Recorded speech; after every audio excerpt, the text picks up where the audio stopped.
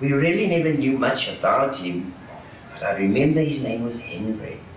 Now, Henry was this big guy with a wooden arm.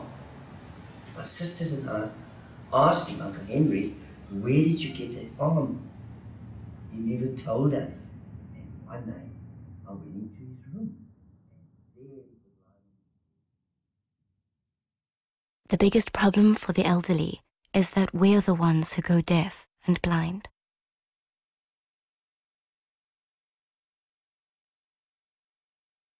For donations or more information, please visit noah.org.za.